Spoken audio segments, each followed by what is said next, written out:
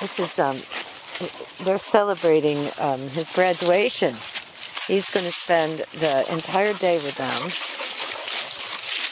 and I'll work him tonight with them. But meanwhile, they can play as much as they want to.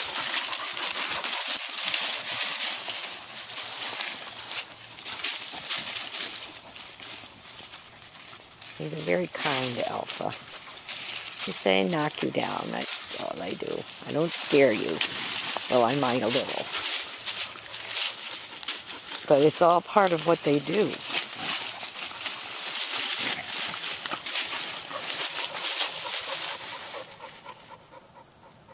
Good boy. Good boy, Charlie. What about her? And Charlie says, I'm going to come back at you. I'm gonna come back at you. I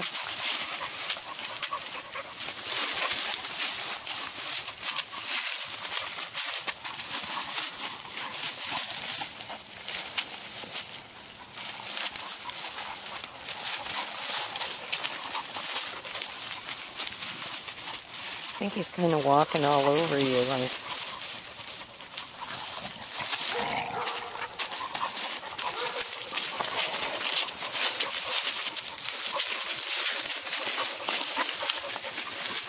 Look at her.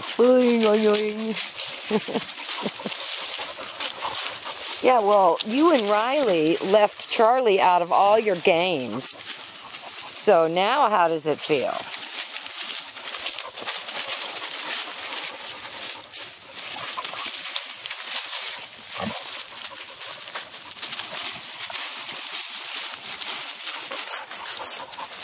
Are, are you fighting for the lady?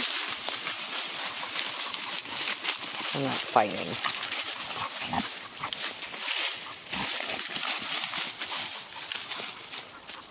But this is going to make Thor very tired when he comes home tomorrow. So, but I'd rather have him be very tired than wound up.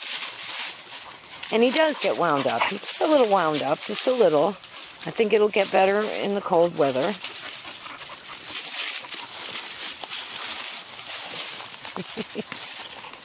See, he needs a baby brother. But maybe, maybe Layla will play with him like that. As long as they got somebody that will chew on him like that.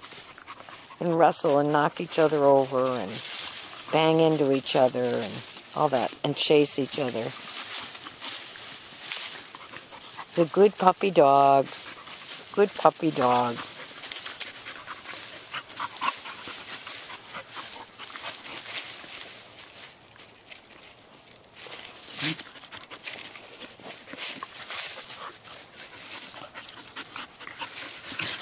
Look, he's a very good alpha to get down and play with the kids. Yep. But he is a kid himself. He's such a good boy. So are you, Charlie. And so are you, Miss Savannah. But you're a good girl. What you got? What you got? She's a good girl. She says, why are they... Nobody's paying any attention to me. Look at... Oh, Charlie just blew you off, didn't he? Ha ha ha!